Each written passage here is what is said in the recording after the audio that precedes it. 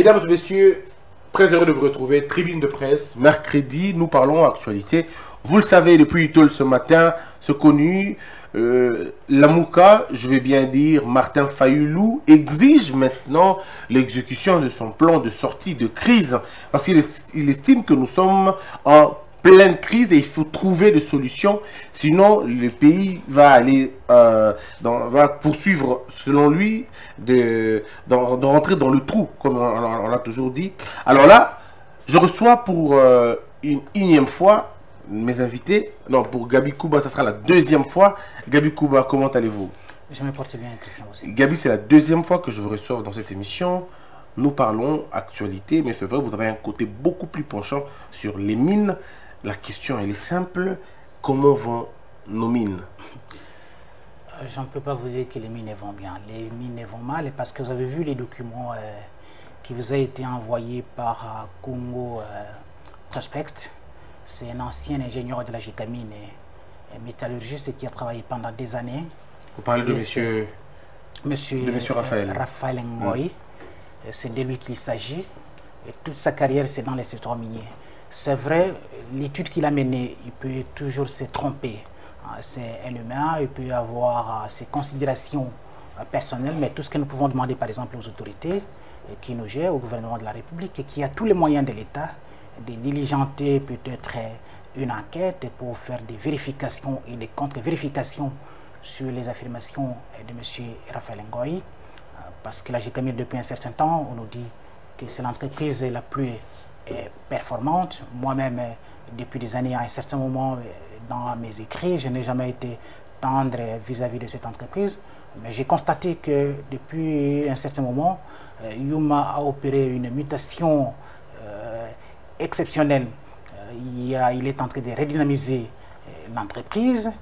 Et, en 2018, la GCAMINE a été classée parmi les entreprises les plus performantes de la RDC avec la SNEL et euh, la régie des eaux. Ça, c'est le point de vue de l'actuel comité de gestion. Pourtant, on sait que c'est pas le cas, hein. on sait quand on sait que... Ah oui, mais en lisant euh, l'étude menée par euh, M. Raphaël Ngoï, j'ai l'impression que Raphaël Ngoï tire la sonnette d'alarme. il attire l'autorité nationale, il attire l'attention des autorités sur les drames et sur l'état la, actuel de la Gigami. Raison pour laquelle... C'est un document de pratiquement plus de 100 pages. De plus de 100 pages, je l'ai lu. Euh, je l'ai lu euh, de A à Z. Et quand vous regardez euh, les critiques qui fait... Formulées par M. Raphaël. Malheureusement, moi, je ne sais pas l'ouvrir. Hein. la connexion m'embête ici. Par, oui, par M. Mm. Raphaël. Donc, la GCAMINE aujourd'hui est devenue un minier. Ce n'est pas un grand opérateur minier que nous avions connu dans les années passées, avec le record à l'époque du maréchal Mobutu, et avec un comité de gestion dirigé non par les Belges qui s'étaient déjà euh, désengagés de la GKM, mais par des Congolais. Il citait notamment euh, Umba, il citait Ambroise Mbaka, et il citait tant d'autres ingénieurs, et lui-même. Et je vous dis que Raphaël Ngoy, c'est le seul Congolais, le seul et l'unique à avoir produit le cobalt comme métal le cobalt métal en RDC. Et il est parti. Il a connu d'abord l'exil deux fois. Je crois pour la première fois, c'était dans les années 90, avec euh, les conflits euh, Chaba et Kassai. Et pour la deuxième fois, après la révisitation. S'il a besoin, je, crois que je vais poser la question pour l'inviter aussi. je, rappelle le, je rappelle le document à tous nos lecteurs et les internautes. Jekamine Yuma, un minier et une sanction nationale. Donc, ce sanction, c'est Sunzu. Ah oui. c'est du sang. Donc, pour lui, la GKMIN est devenue euh, euh, l'ombre d'elle-même. Ce n'est plus une entreprise viable. Alors là déjà je vais dire que le document est chiffré, le document a des tableaux, production ah GSM en 2012, on voit les graphiques, on voit toutes les images, c'est documenté, c'est un travail de fond, j'en parlerai avec lui personnellement ah ici même. Alors là je reçois aussi le professeur Voto, professeur Voto, professeur d'université, DG des canals euh, euh, Kin, mais aujourd'hui vous intervenez comme analyste politique. C'est dans ce cadre-là que je vous reçois aujourd'hui. Justement. Et vous êtes très proche du docteur Denis Mukwege, vous patronez même euh, une organisation, Chemin de la Paix, je crois. La communication. je suis coordinateur adjoint parce qu'il y a une coordinatrice qui est au-dessus de moi. voilà, le docteur Mukwege, comme vous savez, il, a lancé depuis la fin du mois d'octobre le Fonds mondial de survivance. C'est un fonds, comme le nom le dit, c'est mondial, c'est-à-dire c'est pas seulement la RDC. Donc avec son, son coloréat, l'iranienne, donc ils ont lancé ce projet-là pour récolter des fonds auprès des donateurs, auprès des hommes et des femmes de bonne foi à travers le monde, pour venir en aide aux victimes de violences sexuelles dans des conflits conséquents de conflits armés, partout où ça se présente dans le monde. Alors, euh, prof, avant de commencer avec vous, vous venez de subir, je vais dire comme ça, les affres de la nature, si on va le dire.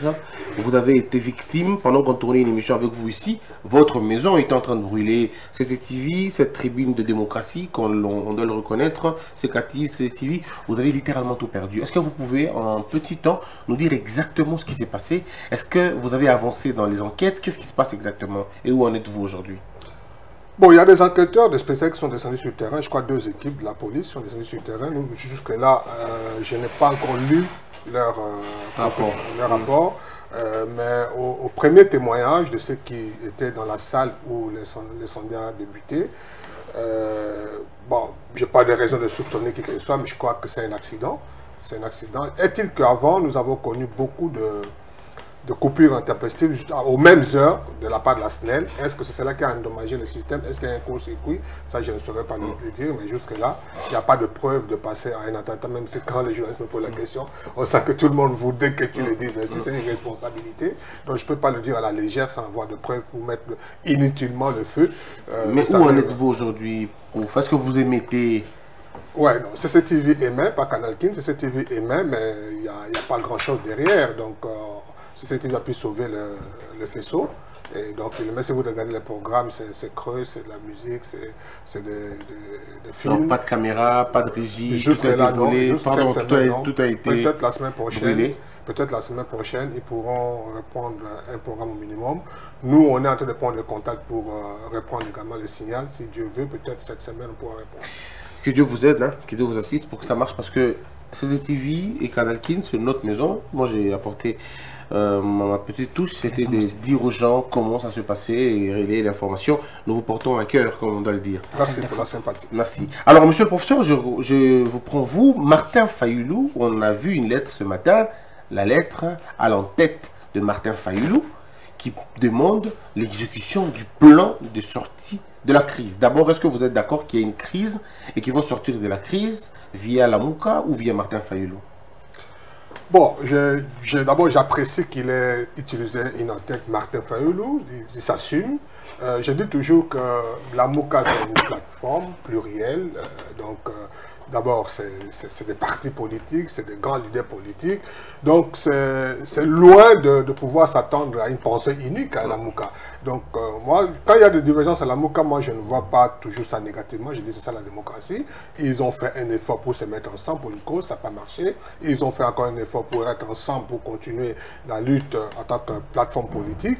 Donc, mais ça ne veut pas dire que tout le monde va penser la même chose. Donc, on comprend depuis quelques mois, euh, le point de vue de, de Marc qui est à l'extrême gauche, le point de vue de Katumbi qui est pratiquement à l'extrême droite aussi. Il y, a, il y, a, le point de vue de Bemba qui est presque au milieu, tiraillé, on dirait tiraillé entre les deux, mais qui garde plus silence, qui observe. Donc, moi, je, je, respecte le point de vue de Fayoulou. Si, il, reste dans sa logique. Il reste dans sa logique. Il dit qu'il a gagné les élections. Euh, et que, euh, quand bien même, euh, les choses sont passées comme ça s'est passé, il se donne un effort pour proposer quand même une solution. Il y a crise, euh, il faut se rappeler quand même que, bon, on ne peut pas ne pas dire qu'il n'y a pas crise. Il y a, il y a mécontentement, les choses telles que ça sont passées, mais on doit aller de l'avant. Tout n'est pas parfait, mais vous vous rappelez, à l'époque, lorsque en 2011, c'est le même scénario qui, revient en 2018, lorsque Etienne Tshisekedi, et, c'est ça l'ironie de l'histoire, donc Fayoulou s'est défini comme le, fils spirituel d'Etienne Tshisekedi. alors c'est le, fils, le fils biologique d'Etienne qui est au pouvoir. Au pouvoir donc, mm. en tant que fils spirituel d'Etienne Tshisekedi, il a pratiquement le même comportement qu'Etienne Tshisekedi à l'époque. Il dit qu'il y a crise, alors, bah, lui il fait une fois, il propose euh, une voie de sortie. mais vous vous rappelez qu'en 2011, euh, Etienne Tshisekedi disait il y a crise, le pouvoir en place ne voulait pas entendre, mais à un moment, Kabila est revenu pour discuter avec mm. l'UDPS. Est-ce que vous, pour, l'histoire se répéter? Je ne sais pas, je sais pas, on n'en est pas encore là, mais est-il qu'il y a quand même malaise? Ça, il ne faut pas, il faut pas mm. se leurrer. Les élections peut-être ça s'est passé, euh, il y, a malaise au sein de la classe politique, il y a malaise un peu au niveau de, de, Congolais. Euh, Félix Tshisekedi qui a installé, fait un effort pour faire oublier ces malaises en posant des actes. S'il pose des actes forts qui changent les conditions des Congolais, qui changent le social, on pourra oublier ces mm. malaises. Mais s'il ne pose pas des actes forts, les gens vont revenir à la crise. Hmm. Alors, est-ce que, est que Gabi Kouba, Martin Fayoulou, pour lui, la même question, vous allez répondre, mais j'ajoute un élément. Martin Fayoulou dit, s'il veut être porte-parole, eh bien, ça sera le porte-parole de la résistance. Ça ne peut pas être le porte-parole euh, des opposants. Lui, il n'est pas opposant, c'est un résistant.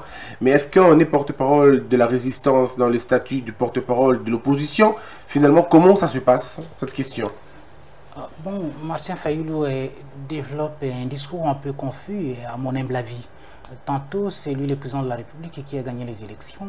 tantôt, il est opposant parce que son suppliant et les autres députés, et député de la plateforme, de, la plateforme siège au niveau de l'Assemblée nationale. Vous voyez même la, la, saga au niveau du Parlement pour euh, occuper des postes qui sont restés vacants, qui ont été alloués ou qui reviennent à l'opposition. Ça pose réellement un problème de coordination, euh, même si les profs disent qu'on peut avoir, on peut appartenir à la même famille politique, mais avec des idées euh, différentes. Donc chacun essaie de jouer sa propre partition. Aujourd'hui, je ne vois pas la MOCA comme une plateforme. Heureusement que Martin Fayoulou, quand il, il parle, il n'engage pas la plateforme, il parle euh, euh, comme individu, mais pas comme leader de, de, la plateforme La Mouka, parce qu'on sait qu'il y a une sorte de, des, des coprésidiums dans, au sein de cette Mais il a quand même évolué, Martin, il demande plus, il n'est pas, en fait, dans l'ancienne bon, demande, excusez, dans l'ancienne demande, Martin demandait qu'il soit lui le coordonnateur de,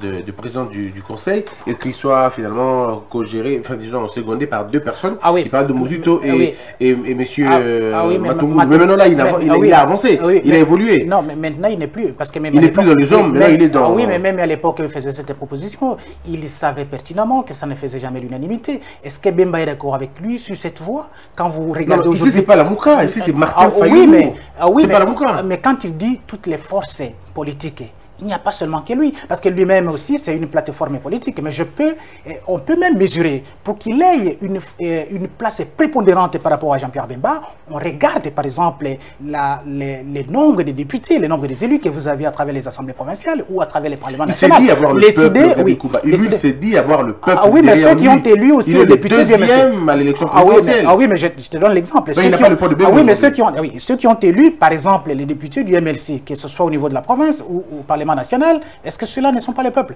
Ceux qui sont là avec Moïse Katumbi, ils ne sont pas les peuples. Donc, ça, c'est une démarche tout à fait eh, eh, personnelle, mais ça peut, il peut avoir raison. On ne peut pas dire qu'il n'y a pas de, problèmes. Il y a des problèmes. Tshisekedi est en face de plusieurs oppositions. Il a d'abord une opposition qui est en face de lui, qui le considère comme partenaire. Mais moi, je vois que le danger pour le pouvoir actuel, l'opposition que Tshisekedi, si moi je suis à sa place, je peux plus redouter la radicalité de l'opposition auprès de ses partenaires qu'auprès de la MOUCA, même si les dangers peuvent venir de part et d'autre. Donc il est en face de plusieurs oppositions, ce qui est ben, tout à fait... Voulu, hein, c'est lui qui a voulu, ça, personne lui a il, est, il est dans une situation, il est dans une situation où il ne peut pas eh, négliger cette opposition, par exemple, du groupe de la MOUCA, mais il doit non plus, il ne doit pas non plus considérer à 100%, à 100% les gens. Est-ce que vous voyez le plan de, de ah, Fayoulou s'exécuter? Ah oui, mais moi, dans, dans, dans cette optique, je ne vois rien de nouveau sur le soleil. C'est un peu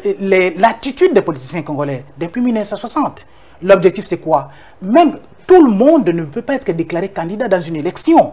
Et encore que on, se soit préparé pour gagner réellement une élection. Comment voulez-vous récolter alors que vous n'avez pas semé? Parce que l'objectif pour celui qui se déclare élu, euh, qui celui qui réclame la victoire, les camps de la résistance, c'était de bloquer la machine parce que les invalidés emblématiques, disons-les comme ça, n'étaient pas dans la course. Maintenant que les maîtres sont revenus, ils sont dans la perspective de 2023.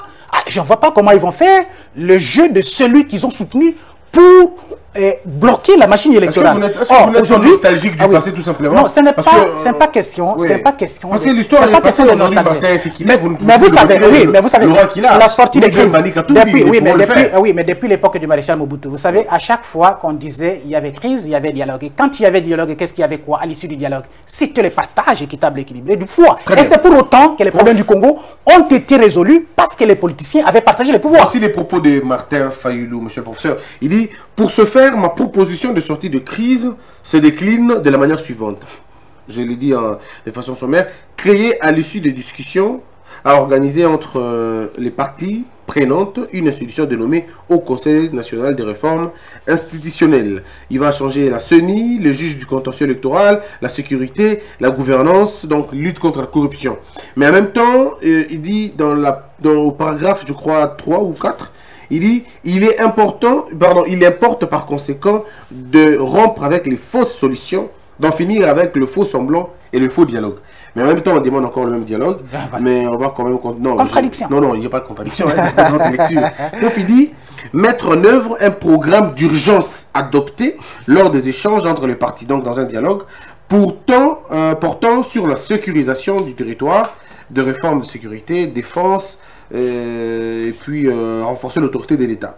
Organiser de nouvelles élections, donc c'est la CENI présidentielle, il va même pas dire les présidents des assemblées provinciales, les gouverneurs, et puis euh, M. Martin va finir en disant, la quatrième, il dit pendant la période de réforme de 18 mois environ, la coalition FCC Cash vont diriger le pays, va diriger, pardon, va diriger le pays, et la MOUKA dirigera HCNRI.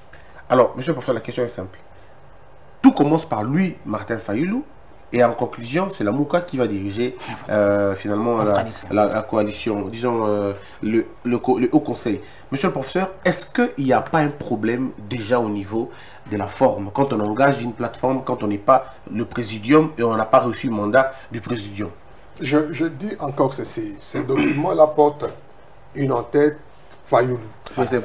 Voilà. oui, donc, c'est-à-dire que euh, en tant qu'acteur politique majeur mm. sur la scène euh, politique, on ne peut pas l'empêcher de réfléchir, on ne peut pas l'empêcher de parler. Mm. Et surtout, il a été candidat, il a mm. été, si on prend les résultats officiels, il a été deuxième. On ne peut pas l'empêcher de parler. si on peut lui faire des reproches au niveau de la MOUCA, en interne, on peut pourquoi vous dites ça, il fallait d'abord venir nous consulter. Mais pour nous, l'opinion, il, peut parler. Surtout qu'il il estime que c'est lui qui avait gagné les élections. Il peut parler. si vous lisez entre les lignes, euh, ce document-là, euh, bon, nous Congolais, on est très fort dans les terminologies. Ce n'est ni moins ni autre qu'une transition qui pour déboucher Justement. des nouvelles élections. Un dialogue voilà. puis une. Voilà, donc c'est des formules. Mm. Mais moi, moi je, je, ne lui reproche rien. S'il estime qu'il a gagné les élections, s'il estime qu'il n'a pas eu l'impérium pour répondre les mm. termes de, de ce qu'il dit, et qu'il il, dit, bon, on peut, on peut quand même couper la poire en deux, bon, ils, sont, ils, ont, ils ont l'exécutif, peuvent y rester. Nous, on peut rester dans les institutions euh, de régulation. Euh, pour, pour, pour, organiser des bonnes élections demain, je, ne lui en veux pas. Mais alors, je me pose la question, pourquoi est-ce qu'on contredit FCC, FCC et Cash si la Mouka veut rentrer lui aussi dans la même coalition? Alors, ça va être quel type de coalition? Une coalition à trois ou à deux? Non, ce n'est pas une coalition. C'est pas une coalition. Il ne parle pas d'une coalition. Il parle comme... Moi, je dis une transition, c'est partage équilibré du pouvoir. Il veut parler à l'exécutif, mais il veut mettre en place un mécanisme qui ferait qu'on ait des bonnes élections demain. Mais ils n'auront pas l'argent parce que ceux qui doivent donner l'argent, ce sera l'exécutif. Et si l'exécutif monte pas, vous ne pas donner de l'argent? Mais c'est organiser les élections, c'est de demander de l'argent, monsieur le professeur. Non, il ne faut pas lui prêter des intentions. Pas... Parce qu'ici, au Congo, on sait comment ça fonctionne. On va au pouvoir pour chercher l'argent, pour préparer les élections suivantes et rester au pouvoir. Je pense que, non, quand vous lisez le texte, ce n'est pas dans cette logique. La logique, c'est... Non, la logique, monsieur, je vais vous expliquer, vous faire expliquer, monsieur le professeur. Quand on veut organiser les élections, on a besoin d'argent. Oui. Or, eux vont être dans une sorte de commission, dans une sorte de conseil. Donc, ils auront besoin d'argent pour organiser les élections. Non, c'est pas Et si le gouvernement ne donne pas l'argent, ils font comment Ils diriger. Oui. Ces institutions-là sont dirigées. donc, il y, a derrière ça un mécanisme normal de fonctionnement de la démocratie. Au fait, en fait, en démocratie, le pouvoir arrête le pouvoir.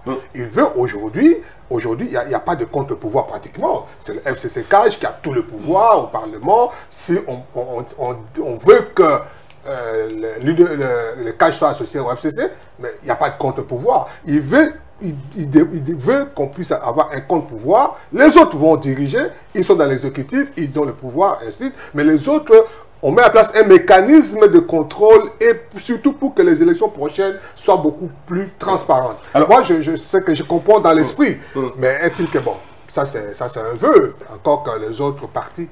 Alors, Gabi, alors, Gabi, le problème, la question, c'est de savoir est-ce que le HCR, IUN, est-ce que c'est au, euh, au conseil n'emprunte pas finalement, ou pardon, n'évite pas l'Assemblée nationale de toute sa substance quand on sait que c'est l'Assemblée nationale dans, dans, une république qui est finalement le laboratoire des plus grandes réformes?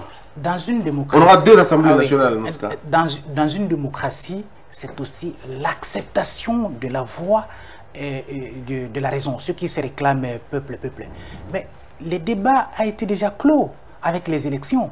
Pourquoi vous voulez... Euh, parce que tout le monde veut le respect de la Constitution, le respect des institutions. Est-ce que ce sera un gouvernement parallèle Alors, quel sera le rôle du Parlement national si un groupe d'individus, parce que vous et moi ne serons pas dans ces hauts conseils de réformes institutionnelles pour décider. Mais comment vous expliquez qu'un député, quelle que soit la manière dont ils ont été élus, mais nous avons accepté, c'est une situation de fait. Les députés à qui nous avons confié les mandats d'aller légiférer et qu'un groupe d'individus décide à la place de ces députés. Et ça sera comment? Des décisions seront collégiales. Il y a eu une escroquerie nationale, ça sera une escroquerie électorale.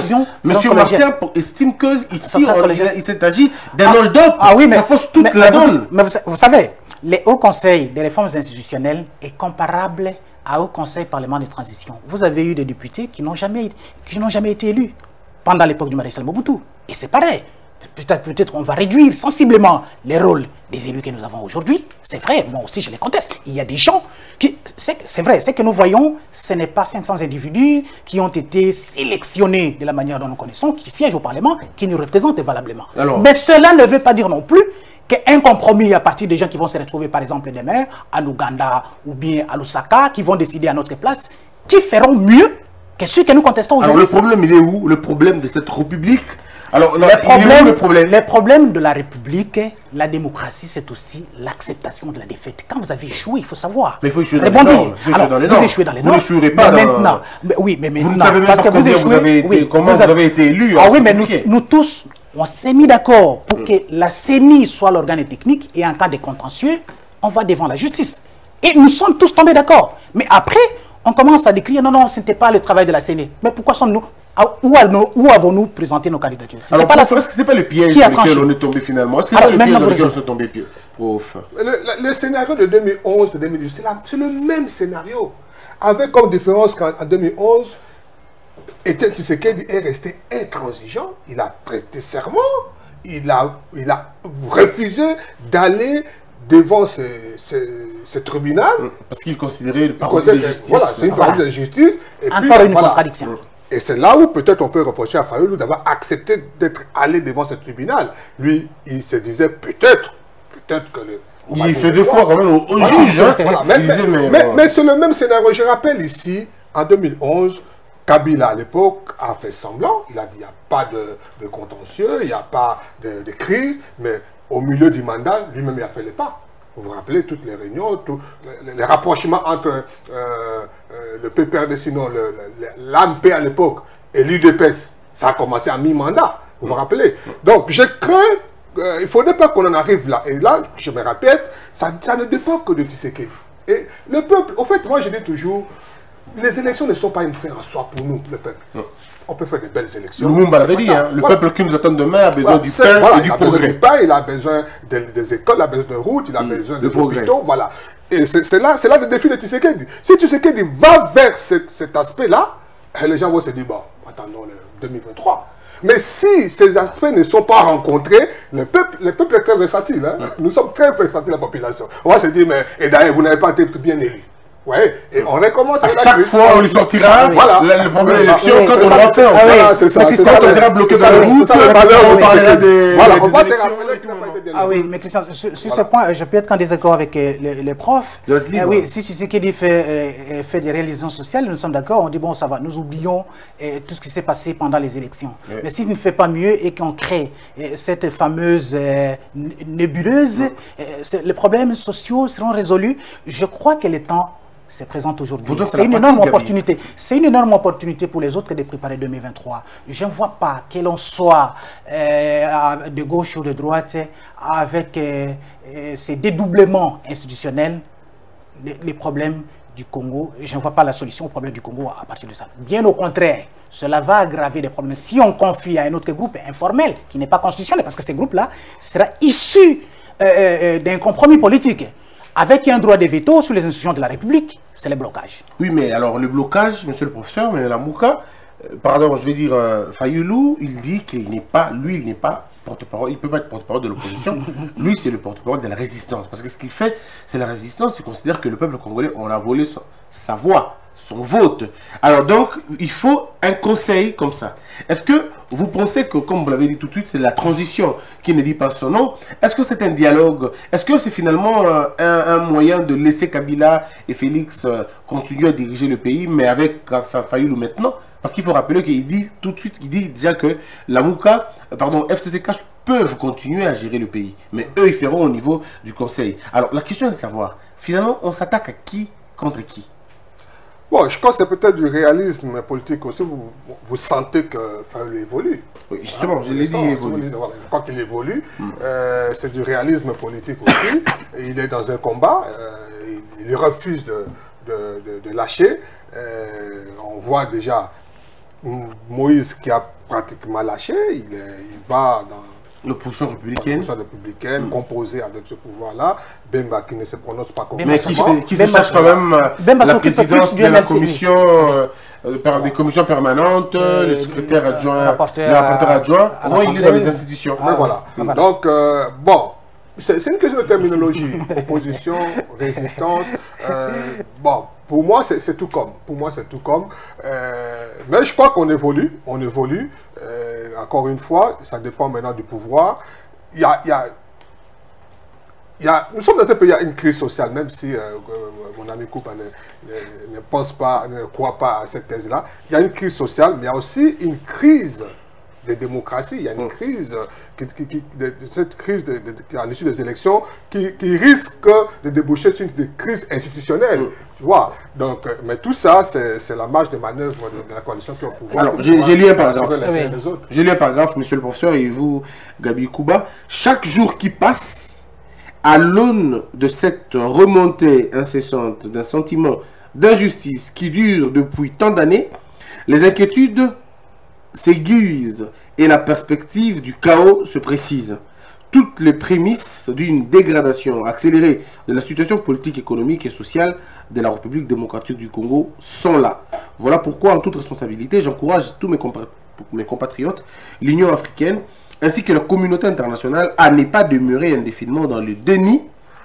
Il y a bel et bien crise politique dans le pays qui nécessite que l'on s'y penche sérieusement pour assurer la paix, la cohésion nationale, afin d'entamer le grand chantier de la reconstruction du pays. Ici, c'est un Martin reconstructeur. C'est un Martin qui comprend qu'il faudrait faire avancer les choses parce que la crise qu'il y a aujourd'hui, le FCC bloque le cash, cash bloque le FCC, le gouverneur euh, font des leçons au ministre de l'Intérieur, le ministre de la décentralisation fait des, je veux dire des, des, remarques ou même euh, des propos assez maladroits au ministre de la Justice, de, la justice, de, de l'Intérieur, de la justice contre l'Intérieur. Bref, une cacophonie.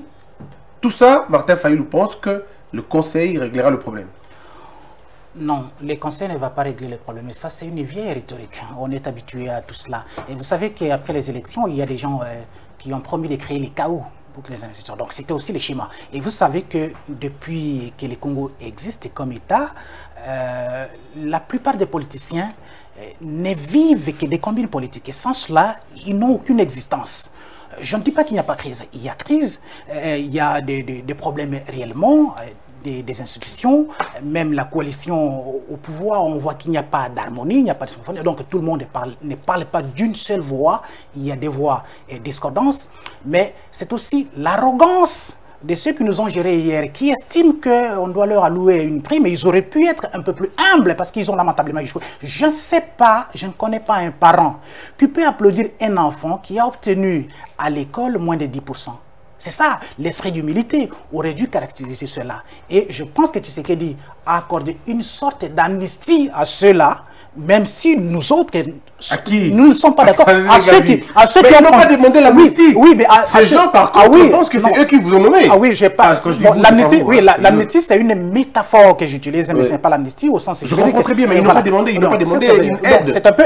Aujourd'hui, vous présentez ça comme une sorte d'aide. Oui, cette sorte d'arrogance qui leur octroie les droits de veto contre euh, le président de la République, Tshisekedi, euh, je crois que c'est une insulte à la nation et c'est à la nation aussi de comprendre, sommes-nous d'accord pour que nous vivions encore pendant 18 ans au camp sans eau?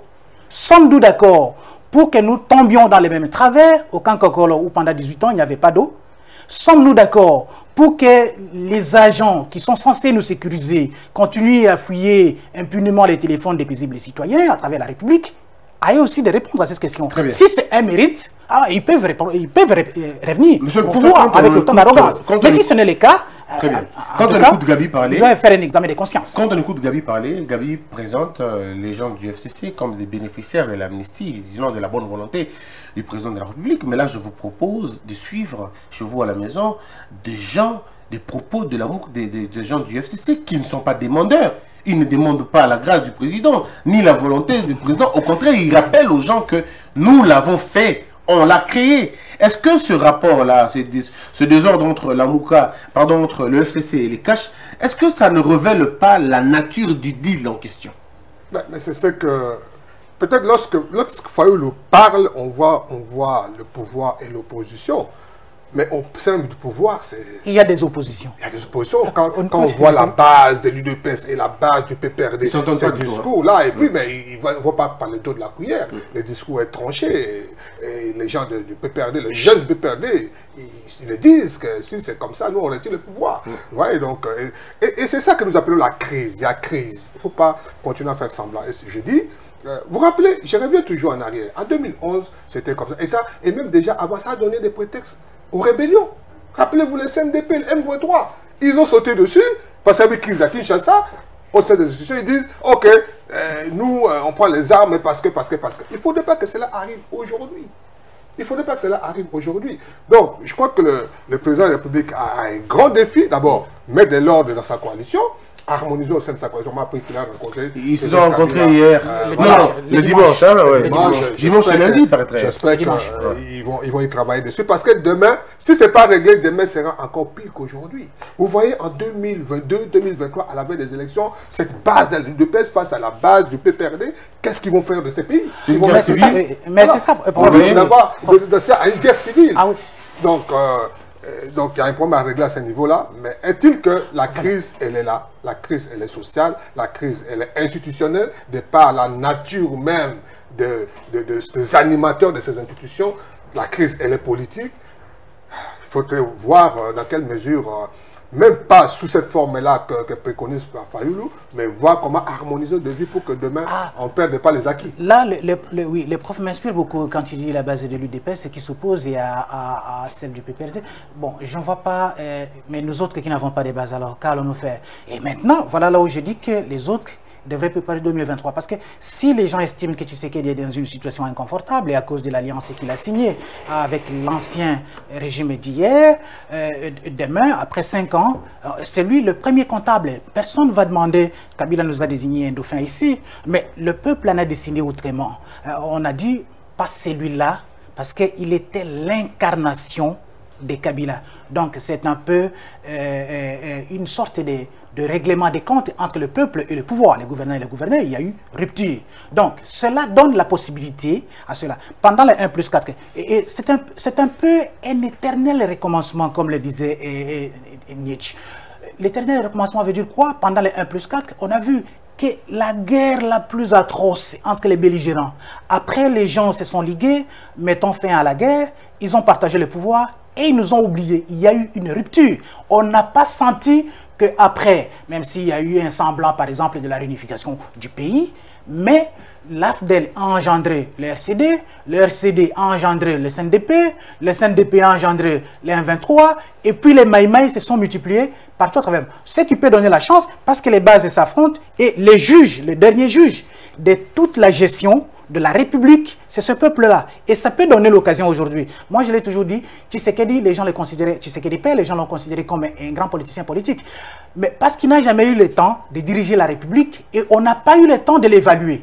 Et voilà ce qui donne les arguments aujourd'hui aux autres pour dire voilà, attendons ce qui va se passer en 2023 si le peuple tombe en désaccord. Mais maintenant, à Fayoulou, à Bemba, à Katoumi, de récupérer l'électorat déçu. Que, vous, soyez du PPRD, que vous, soyez de l'UDPS avoir l'étoffe nécessaire pour réorganiser les choses? Quand on sait que la MOUCA, pardon, le, le FCC ne fait que se solidifier du jour au lendemain. Il a il a l'étoffe. Vous et moi, pendant des années, et Martin Fayoulou, les Diongo, on brûlait des pneus ici. Et nous avions, je, viens de le dire tout à l'heure, nous considérions Tshisekedi comme le plus grand.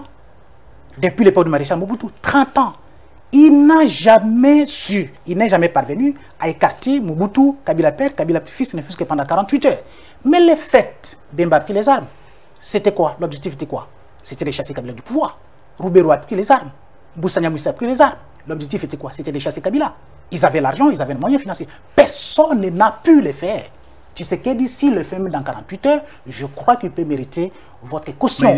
Mais, maintenant, les problèmes, non, mais aujourd'hui, les ordonnances, même si ça peut poser problème, les gens disent, bon, mais les gens disent oui, mais ça, fait huit mois. Hein, oui, ça fait huit mois. Le ministre du portefeuille a opposé son veto. C'est un président symbolique. Mais le fait que Kabila se retire de la cité de l'OIE, il n'accrédite plus les ambassadeurs, je crois que c'est une chance pour vous pour l'éloigner définitivement du pouvoir. Parce que si vous fragilisez Tshisekedi, et Bemba le sait, Bemba le sait, Fayoulou le sait, Bemba le sait, s'il vous plaît, Bemba le sait, Fayoulou le sait, et Katumbi le sait. Ils savent qu'il est, il est facile de se débarrasser de Tshisekedi, Tshisekedi de pouvoir s'il ne remplit pas les contrats sociaux vis-à-vis du peuple congolais que des Kabila. Donc, si vous le, fragilisez, vous le fragilisez, et c'est parce que les autres évoquent la perspective d'un retour au pouvoir, c'est-à-dire vous faites le jeu de l'ennemi que vous avez combattu hier. Donc, autrement dit, le vrai allié de Kabila, serait dans la mouka et non Tshisekedi. Est-ce que ce n'est pas la fuite de responsabilité finalement, le refus de voir la, la, réalité en face que de se cacher derrière quand on attaque Fachi, ce qu'on est à côté de Non, c'est pas qu'il n'est pas, c'est pas qu'il n'est pas attaquable. Il est critiquable à tous égards. Laissez le professeur parler. Oui, mais justement, donc quand on, on a... Bon, c'est trop beau ça dit que non, ben, tolérer que Fachi soit là parce qu'il va nous débarrasser de Kabila. Mais il ne nous débarrasse pas de Kabila. Kabila est là encombrant, plus présent. Ah oui, mais ça, voilà. les plus venus là n'ont pas, pas pu le faire, ne fût-ce que... Non, faut pas, non, non, faut pas dire que, non, non, faut pas dire que c'est Fachi qui a fait partie Kabila. Non il ne faut pas insinuer que c'est Fatih qui a fait partie. Bon, c'est vrai, c'est pas lui, c'est les résultats de nous tous. Oui, non, c'est les résultats des CCTV, c'est les résultats des Mais c'est lui qui porte. Au contraire. vous savez, le cheval, le cheval, le cheval gagne la course, mais le prix revient au contraire. Fatih a donné l'occasion à Kabila de, se, de revenir, de se réconforter acrobatiquement. Mais Kabila était parti. Je suis en, en, en, en, en octobre, novembre 2018. Mais Kabila est parti. Comment ça, prof Oui, mais dès lors que, dès lors que euh, il a nommé un dauphin, ça veut dire qu'il n'était plus candidat. Mais il était parti. Et dès lors que tous les, les signaux donnaient que son dauphin allait échouer. Mais Kabila était parti. Mais effectivement, son dauphin a échoué aussi. Son dauphin a échoué Il était parti. Donc, ce n'est pas le fait. Au contraire, il n'est pas. Mais pourquoi il n'est pas parti? Parce qu'il y a eu un compromis, pour ne pas dire une compromission, entre Fatih et Kabila. Donc on ne connaîtra jamais la nature. C'est ce qui a sauvé Kabila et ce qui permet à Kabila de récupérer la situation aujourd'hui jusqu'à avoir l'ambition de revenir en 2023. Mais qu'est-ce qui allait se passer pour vous? Dites-moi Qu'est-ce qui allait se passer exactement? Parce que j'ai entendu souvent cette phrase. Mais dites-nous exactement comment ça allait se passer. Quels étaient les vrais plans? Allons-y aux, élections normales et que euh, Fachi, disons, Fachi ne passait pas, mais c'est plutôt Fayoulou qui est, qui, est passé ou Théodore ou quelqu'un d'autre. Mettons, mettons Fayoulou. Qu'est-ce qui allait se passer pour que Kabila ne soit pas fort comme aujourd'hui Non, mais Fayoulou l'a dit hum. avant, avant la proclamation. Vous êtes journaliste, vous savez. Mais, mais, mais, Kabila a approché Fayoulou. Ça, c'est pas un secret. Par les Nations Unies interposées. il a approché Fayoulou. C'est quand Fayoulou a développé son discours pour dire la même question était posée à la même question était posée à, à, Fatih. Vous connaissez la réponse de Fatih que Kabila, c'est un Congolais, c'est un président de la République. Il a dit, l'a dit, il a dit la même il a dit aussi la même chose. Il a dit ceci, que son sort est réglé par la loi. il a commencé à dire qu'il est congolais. On a tous reconnu la nationalité de congolais. Oui, ça, c'est pas le débat. Le débat, c'est son, son, sort. D'accord. C'est son sort. Son sort, c'est que pour Fayoulou, il, a dit qu'on est chrétien, on va pardonner. Il, on est, c'est ce qu'il a dit. Il a dit on est tous des chrétiens, on nous a prêché, on nous a prêché le pardon, c'est un sénateur à vie. Il va rester au pays. Personne ne va fuir, mais la, le sort se sont réglés. Je, je crois qu'ils ont dit la même chose. Hein. Et lui, non, pas exactement. Alors, pas exactement. Dites -nous, dites -nous. Pas exactement. La nuance pour Fayoulou, c'était que son sort serait réglé par la loi, par la justice. Il a répondu, il répond devant la justice. C'était pas son problème. Et, et c'est ça qui, qui, qui, a inquiété Kabila. Et il a, il a choisi le monde des mal. Vous voyez, ne pouvons pas placer euh, euh, son dauphin, auquel cas le pays sera en feu, il a, il a changé le monde des mal. Ça, ça, mais c'est pas ce que tu as dit là. Oui, s'il vous plaît. S'il vous plaît. Christian,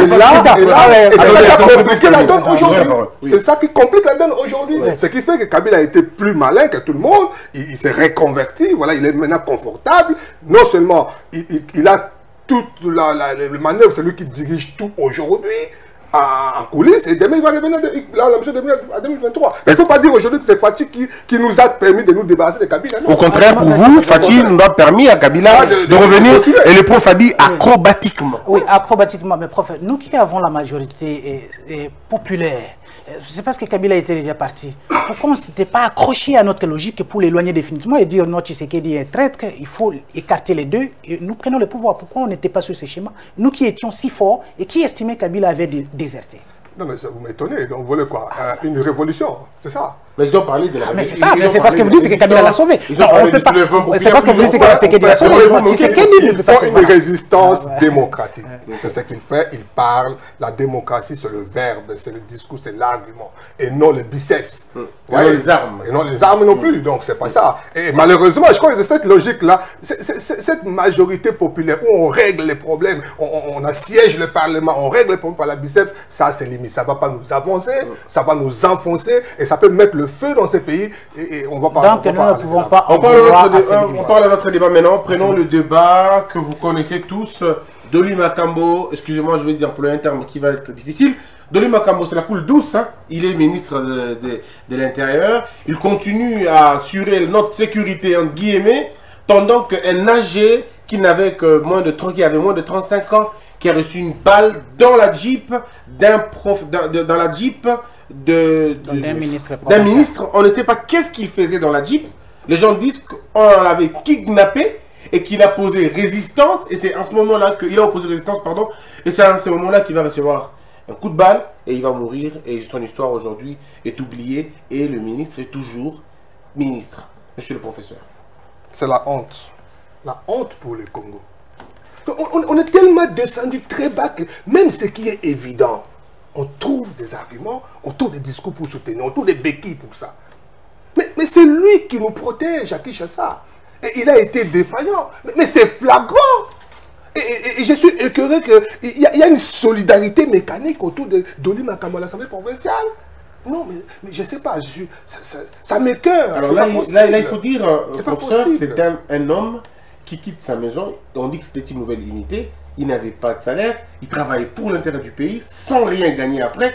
Mais bon, malheureusement, quelqu'un, on l'appelle, il, paraît, selon ce qu'on entend, on devrait le prendre, lui et son corps, et l'amener auprès du ministre pour qu'il réponde aux questions pourquoi il s'oppose à l'exécution d'un, je sais pas moi, d'une ordonnance, quelque chose comme ça. Et c'est pendant cette période-là qu'il a mais ça, c'est gravissime. Les, juges Qu'est-ce qu'un ministre de l'Intérieur a à voir avec une affaire parcellaire? Et, surtout, qu'il y amène ses gardes du corps. Armés. Armés. Je ne comprends pas. vraiment, et nous, Congolais, on est là à brandir ça devant le monde entier, à ce niveau-là. Vraiment. Non, mais c'est la honte. Alors, le prof, possible. le prof est écœuré comme beaucoup d'autres Congolais. Est-ce qu'il ne s'agit pas ici d'un détournement de la main-d'œuvre? Parce que lorsqu'on vous donne, on vous confie des militaires, on dit c'est pour votre garde personnelle. Comment se fait-il que le corps, les, ceux qui doivent garder votre corps, qui sont payés par l'État pour garder votre corps, vont se retrouver à des kilomètres très loin de ton corps et de ta résidence, et de ta résidence avec le bien de l'État? Est-ce que ce n'est pas le détournement de la main-d'œuvre tout de suite à dire, euh, je veux dire? Pire que ça. L'État contre le peuple. C'est tout ce que je peux dire sur ces points. Et c'est regrettable que le ministre provincial euh, agisse de cette façon. Donc, le ministre, non seulement euh, qu'il est impliqué dans un sale dossier, mais il prend même la place de la justice. Si le pauvre médecin a commis un délit... C'est un âgé. Euh, bon, bon, bon, mais est-ce que c'est au ministre... C'est oui. général. Ah, oui, administrateur. Oui, mais est-ce que c'est... Ah oui, une nouvelle unité. Une nouvelle unité. Ah oui, mais qui sont une nouvelle unité. Tout ça, moi, mais, une nouvelle unité peut diriger Ah oui, mais ah, voilà, voilà encore une anarchie. Oui. voilà encore une anarchie. Parce que vous avez tant Vous avez des gens qualifiés. Oui, vous avez des gens qualifiés. Une nouvelle unité, c'est quelqu'un qui attend, par exemple, oui, quelqu'un qui, oui, quelqu'un. Est-ce que vous trouvez normal que moi, j'aille enseigner à l'IFASIC comme le fait les profs? Parce que je n'ai pas cette qualité. Mais voilà quelqu'un qui n'a pas cette qualité. Et dans tous les services de l'État, ils sont là. Ils sont là. Ça pose encore un problème. Même, même s'il y a un cas d'illégalité dans ce... Mais est-ce qu'il mérite ces sorts Détournement du personnel de l'État, tel que vous le dites, de l'Imakambo. C'est de cette façon Est-ce qu'il a mérité Est-ce qu'il mérite Oui, mais est-ce que oui, est-ce qu'elle oui, parce que même ceux qui l'ont confié la gestion de l'hôpital, ceux-là aussi devraient répondre de leurs actes. Non, mais quand est-ce qu'on devient Non, il y a mort d'homme. Oui, il y a mort d'homme. Oui, il y a mort. On ne l'a pas battu parce qu'il est âgé. Non, il y a mort d'homme. On l'a battu parce qu'il a défendu les patrimoines de l'État. Il a défendu. Lui au moins. Lui au moins. Lui au moins, c'est un héros, le fait de défendre le patrimoine de l'État. Mais on connaît les spoliateurs des biens publics. Qui sont-ils? Ce sont les responsables de l'État. Et voilà, parce qu'il y a même un conflit de l'autre côté. Pourquoi les ministres de l'Intérieur s'est-il immiscé dans un dossier qui ne les concerne pas? Que dit hein? le ministre des Affaires foncières Que dit le ministre des Affaires foncières À qui appartient cette parcelle? Voilà, il ne dit, jusque-là, le ministre des Affaires foncières ne s'est jamais prononcé. La justice non plus, je ne sais pas. Et voilà là où je soutiens. Je, dis que tous les responsables de l'État peuvent agir. Il n'y a pas seulement que les ministres, nos généraux peuvent tirer, un ministre national, tout ça, un gouverneur peut tirer. Il y a des cas, des abus, il y a des cas flagrants, inacceptables dans ces pays. Mais là où je suis d'accord, par exemple, avec euh, euh, ces sur sa révision constitutionnelle, je ne suis pas juriste, mais je trouve le travail d'un ministre provincial dans les contextes actuels inutile. Et les gens ne peuvent pas avoir peur de la révision constitutionnelle. Il faut réviser certaines dispositions de la Constitution. C'est vrai que les gens, nous sommes frappés par un comportement paranoïaque concernant euh, les, mandats du président de la République.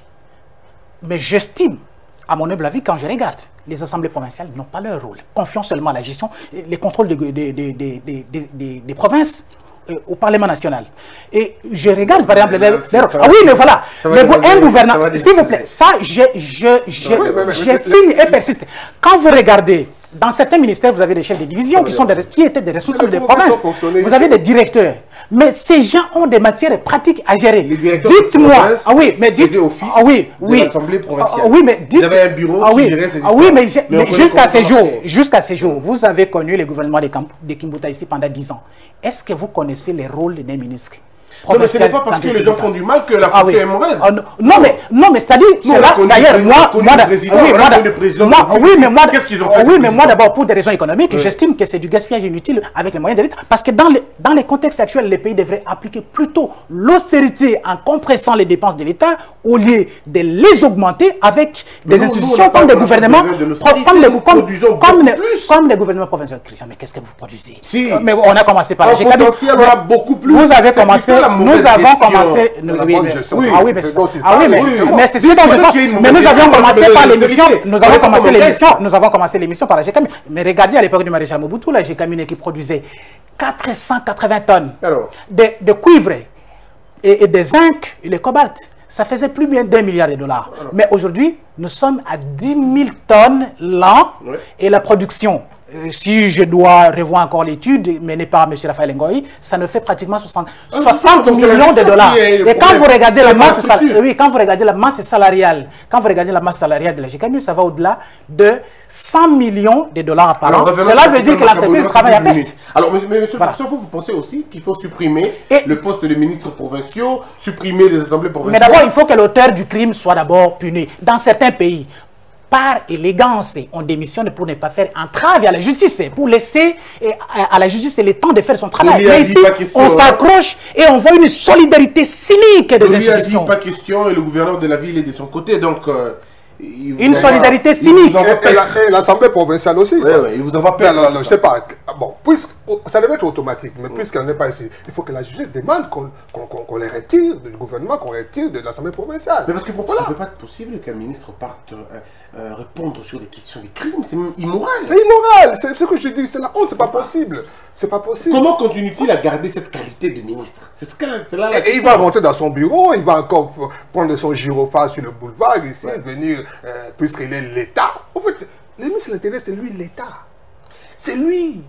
Pourquoi l'État incarné. Comment le monsieur a fouillé, monsieur le professeur Comment le policier a fouillé On ne le voit pas. Est-ce qu'il n'y a pas complicité de le faire fouiller finalement? Non, mais comment Mimi a fouillé bah ouais, ça aussi. Hein. ouais, Comment j'ai dit un Kingo a fouillé Alors, est-ce que vous êtes d'accord que l'on supprime euh, les ministères provinciaux? Pas l'Assemblée provinciale, dans ces pays, les provinces ont fonctionné et ont fonctionné merveilleusement même, mm. sans des ministres provinciaux. Je suis d'accord. Même le Sénat aussi, il faut, il faut supprimer cette institution. Le Sénat, c'est Je signe et persiste. Malheureusement, c'est pas ma voix. Ma voix n'est pas audible. et comme c'est un mécanisme mis en place pour, pour servir des amis. un, conglomérat de politiciens. Et on termine ce débat, mesdames et messieurs, avec une dernière, une dernière question. Et on va certainement trouver la question de la corruption. Hit parade de la corruption, monsieur le professeur, les policiers, les douaniers et les députés seraient à la, première tête, ou je veux dire euh, au, premier, au premier rang des corrupteurs. Mais c'est en ça que je suis écœuré. Je me dis, mais comment les agents publics, ceux qui sont aujourd'hui en train de servir l'État, peuvent se retrouver dans le camp de corrupteurs. Aux États-Unis, on dit que ce sont les lobbyistes qui ne sont pas dans l'appareil de l'État. On dit que ce sont le, monde le monde des affaires, le monde des finances. Mais chez nous, c'est plutôt ceux qui sont directement liés par le serment. Ce sont eux qui sont cités parmi les premiers corrupteurs. Donc, c'est connu de tous.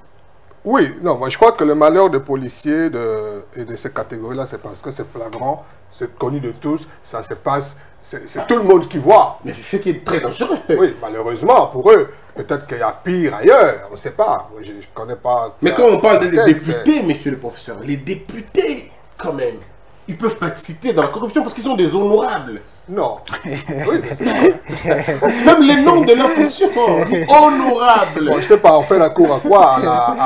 À l'accession au poste par la corruption. Euh, il y a eu des corrupteurs, des corrompus. Mais je vois, on ne sait pas le juge. On sait pas le juge. Oui, le juge aussi, je crois qu'on va le citer. on ne sait pas le juge. Bravo, félicitations. Ouais, voilà, donc. Ah, ils sont là. Ils sont là. Ah, il y a les juges aussi, les juges constitutionnels. Ils sont là. Non, je crois qu'on ne peut pas rentrer dans dans cet exercice, c'est inutile de rentrer dans cet exercice de, de, cibler les uns, c'est comme si les autres étaient, étaient, blancs. Je crois que la corruption, c'est un, un, un, problème social et je crois qu'il faut prendre euh, le, taureau par les cornes, prendre des mesures fortes et des, mécanismes assez forts. Pachi a lancé l'idée d'une agence anti-corruption, tout ça, mais on attend, on attend. Je crois que euh, il faut aller là. Il y, a, quand même des gens ici qui ont fait le preuve. C'est vous qui donnez la proposition. Des juges euh, corrects dans ce pays. Il y en a beaucoup. Les avocats les connaissent, les, leurs confrères juges les connaissent. C'est question de les identifier, de les mettre à des postes clés et les choses changent. Et la CENI aussi est, citée parmi les corrupteurs. Moi, je crois, je vais demander au professeur, on va terminer par là. J'ai proposé au prof, au, au prof et à toute la nation, bien sûr, pour éviter les crimes électoraux et pour mettre les pays hors d'état de nuire, disons mettre les criminels électoraux hors d'état de nuire, les gens comme Nanga et les autres, qui sont considérés pour la plupart des cas comme des criminels, des criminels électoraux, Donnons, confions la CENI entre les mains de Dr Mukwege, de M. Mbongo par exemple, Monseigneur Mosengo. Trouver des gens qui sont, ne serait-ce que réputés bien, que de donner ça à, un monsieur. Un nom, je suis en train d'entendre ce dernier temps. Oui, mais c'est parce que vous citez les noms de certains pasteurs. Aujourd'hui, nous pouvons tout dire. C'est vrai, l'État lui-même a institutionnalisé la corruption. Le prof est agent public de l'État parce qu'il enseigne dans une université publique. Je ne dis pas qu'il est corruptible, mais c'est ce qui s'est passé. S'il est intègre, qu'il regarde seulement ses collègues à gauche, à droite. Donc il est aussi agent public de l'État au même titre que les policiers, au même titre que les ministres. Mais cette situation qui nous expose à la corruption n'est pas tout simplement due parce que les gens sont eh, eh, mal payés. C'est vrai, le prof n'a pas le même salaire que les députés, il n'a pas le même salaire que le mandataire d'une entreprise publique. Mais c'est un problème dû aussi en grande partie à l'impunité. Parce que les juges, j'ai vu les profs en d'ironiser ici en disant que les magistrats n'ont pas été cités. Qu'on me dise tout simplement un magistrat qui a enquêté parce qu'il y a eu un cas de corruption. Mais Christian, vous êtes juriste mieux outillé que moi en la matière. Dites-moi si les magistrats n'ont pas cette compétence d'aller enquêter là où il y a des infractions, là où il y a des informations. Même nous, dans la presse, c'est ce que nous appelons euh, dénonciation par voie des faits. Alors, je reviens à la question, je reviens à la question de la CENI. Mais, vous savez, on a dit, oui, mais on a dit ici, confions la CENI aux hommes intègres, pasteurs, entre guillemets. Est-ce que vous savez que autant nous avions décrié la spoliation de la tenue de la Gombe, là où personnellement j'ai appris à nager, c'est pas à l'équateur chez moi que j'ai appris à nager, j'ai appris à nager à la, de la Gombe. Ah, et c'est, ah oui, et ce sont les officiels, oui, et ce sont les officiels qui ont spolié. Est-ce que vous savez qu'il y a des pasteurs aussi de nos églises qui l'ont fait? Et nous, au nom du salut céleste, on s'est tu. Pourtant, on est virulent vis-à-vis des hommes. Qu'est-ce qui vous dit que si on confie la CENI à un pasteur? Mais Malouma, a été pasteur. Nous l'avons décrié. Ngoy Mulunda a été pasteur. C'est le problème d'homme. Le problème, ce n'est pas le statut que vous occupez.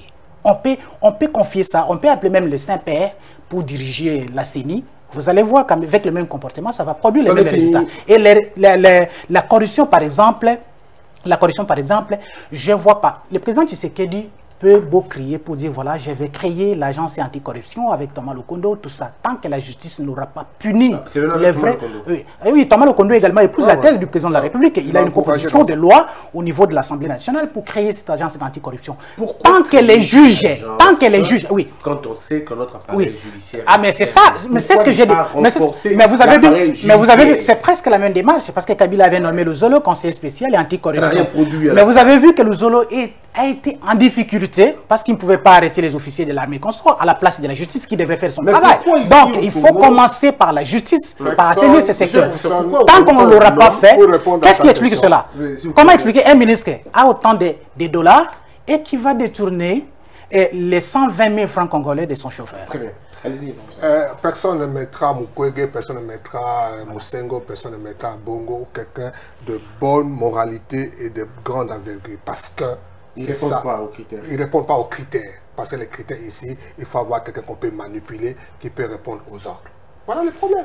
même ceux-là même ceux-là, même ceux-là aussi, prof. Euh, j'ai donné l'exemple hein, de Malou Malou qui est aussi passé. J'ai donné l'exemple.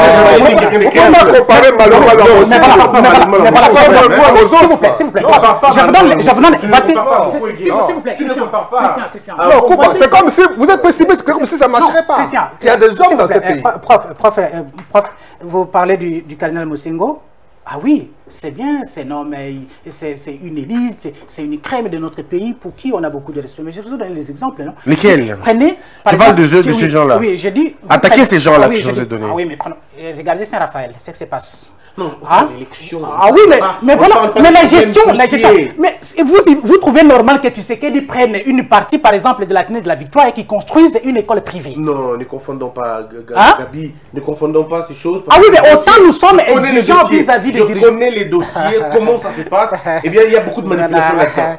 Je vous ai parlé de trois personnes. Ambongo, euh, Mosengo et Mukwege. Sortez-moi les trois personnes dans l'immoralité, dans un cas d'immoralité. Non, je ne parle pas d'immoralité. Pour, pour, ces, pour, ces, personnalités emblématiques, euh, euh, pour qui j'ai beaucoup de respect, mais si ce sont ces gens-là qui peuvent nous aider à sortir de l'enfer, je ne peux qu'encourager l'initiative. Alors, je reviens à vous, monsieur le professeur, on va terminer. Monsieur le professeur, pourquoi au Congo, quand on vous nomme aujourd'hui directeur général de l'agence de la lutte contre la fraude, c'est demain que vous achetez la première maison, c'est demain que vous avez des véhicules, alors que vous êtes censé arrêter les fraudeurs. On a comme l'impression quand on vous place chargé de la lutte contre la corruption, c'est le lendemain que tous vos enfants ont les visas pour aller aux États-Unis et toute la vie change à un moment donné. Est-ce que nous ne sommes pas le problème, nous-mêmes, le Congolais? Ben, On ne peut pas rester pessimiste. Je crois qu'on doit aller vers là. On doit aller vers là. Si le président de la République veut avoir des résultats, d'une part, il faut, il faut, il faut euh, associer les, les efforts. D'une part, il se lance dans la réforme de la justice, la police, ainsi de suite, et tous ces, ces, outils, mais aussi d'autre part, chercher des personnalités qui peuvent imposer une, certaine conduite, mm. qui peuvent refléter le respect et, la morale. C'est important. il y en a dans ces pays. Le problème, c'est que parfois, on n'a pas la volonté politique. On termine. Alors, Gabi, dernier mot. Et en finissant, vous regardez la caméra, vous donnez votre coordonnée, vos coordonnées, et vous continuez le débat avec les gens ce qui va vous arriver, en tout cas, je ne suis pas responsable. Euh, tout ce que j'ai dit n'engage pas les présentateurs de l'émission, cela m'engage. Et voici mon numéro 081 00 58 951. Donc, je suis aussi joignable sur les réseaux sociaux. J'utilise la même identité complète. Kouba que vous soyez euh, sur Facebook, Twitter ou d'autres réseaux sociaux, vous pouvez me contacter et je vais échanger avec vous. Les discussions vont continuer hein. et cela ne concerne pas, euh, tout ce que j'ai dit n'engage nullement pas euh, le présentateur de l'émission, mais cela m'engage. Alors, il faut vite rappeler le numéro qui a appelé tout à l'heure. Vous êtes très intéressé par C'est assez important de les voir. Alors, monsieur le professeur, vous aussi, en tant que euh, professeur, mais en même temps, moi j'ai beaucoup d'estime pour vous, pour ce que vous faites, prof. Tous les jours, je lis les tribunes. Ah quand, ils sont, quand elles apparaissent, je me dis, mais waouh, on a encore des gens intelligents dans ce pays. Même si aujourd'hui, dans ce pays, l'intelligence ça fait peur. Les Au service de la destruction. Ils doivent fuir, sinon ils ne fuient pas, ils doivent bien c'est Une intelligence qui détruit. Monsieur le professeur, vos coordonnées. Continuez le combat. Justement, pour vous donner par rapport de notre coordonnées, c'est que je n'ai plus écrit depuis quelques semaines parce que je suis dans la préparation de la sortie de mon film, L'ombre des oubliés. J'ai vu les affiches. J'ai fait honneur à nos anciens combattants. J'ai eu la chance de, rencontrer les deux derniers témoins encore en vie de la guerre de 40-45, et euh, ils ont raconté leur histoire, la guerre, comment ça s'est passé. Mm. Et voilà qui va sortir. Mais ils sont oubliés malheureusement. Ils sont oubliés et c'est ça que justifie le titre du film. Donc moi c'est José Adolphe Voto, je suis joignable à plus 243, euh, plus 243, 81 71 26 728. Mesdames et messieurs, ça en est fini pour aujourd'hui. Attendez la sortie de ce film, Les Oubliés. Euh, l'ombre des, oubliés, il faut le suivre, il faut lire, il faut suivre, il faut acheter s'il faut ces ouvrages. Il n'y a que de cette façon-là que vous pouvez aider les intellectuels. Parce qu'eux, ils ne demandent pas l'argent, ils ne font pas des courbettes. Donc, ils vendent leur intelligence achetée, tout simplement. N'est-ce pas, Gabi Kouba? Bon, ben, si le prof fait exception, ce n'est qu'une exception qui confirme la règle. On se retrouve très prochainement, je n'ai jamais vu, je vous ai jamais vu pessimiste comme ça, quoi. Non, c'est pas pessimiste, parce que je connais, je connais nos profs. Hein. Quand ils sont dans les amphithéâtres, ils nous disent des belles choses, mais quand ils sont ailleurs, ah, c'est le jour et la nuit. Merci. Merci, Gabi.